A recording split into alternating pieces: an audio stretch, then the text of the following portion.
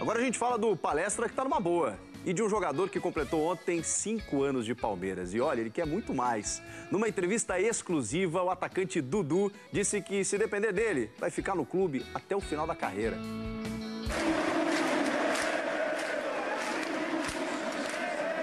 Esse cara é muito ídolo.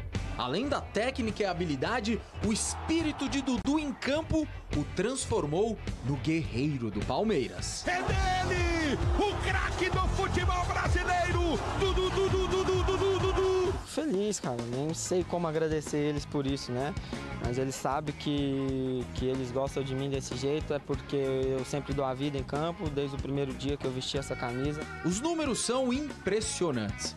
Maior artilheiro do clube no século 21 com 68 gols. Com mais quatro, ficará entre os 30 maiores. No Allianz Parque, ele manda. Lidera os rankings de participações em jogos, assistências, vitórias e, claro, é o que mais balançou as redes. Em campeonatos brasileiros, é o vice-artilheiro da história do Verdão com 41 gols. César Maluco é o primeiro com 20 a mais. Lembrando que o contrato de Dudu vai até o final de 2023. A gente sabe que passou grandes jogadores aqui no Palmeiras, né? Batendo essas, essas marcas. A gente fica feliz por isso. A gente espera que eu possa cumprir meu contrato todo aqui. Quem sabe a gente não virar o, o principal artilheiro. E claro que tem aqueles gols que marcaram para sempre sua carreira. Foi os dois gols contra o Santos e foi o gol contra o Botafogo em 2016, que ali praticamente a gente a gente consagrou o título ali, né?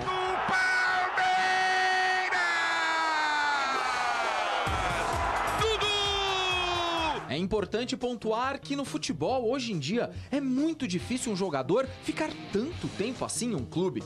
A identidade por aqui é enorme. Quando eu tiver que encerrar minha carreira, tiver que olhar para trás e olhar, falar da minha história aqui no, no, no, Palmeiras, ser uma história bonita. E o camisa 7 não esconde o desejo de um dia, quem sabe, encerrar sua carreira aqui no Palmeiras. Eu já falei que por mim eu encerro a carreira aqui no Palmeiras. Isso depende do Palmeiras, depende do, do presidente.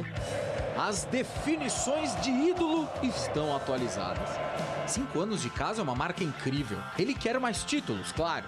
Uma Copa do Brasil e dois brasileiros não são suficientes pelo tamanho de sua importância para o Palmeiras.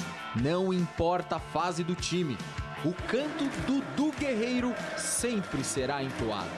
E a torcida com certeza quer fazer isso para sempre.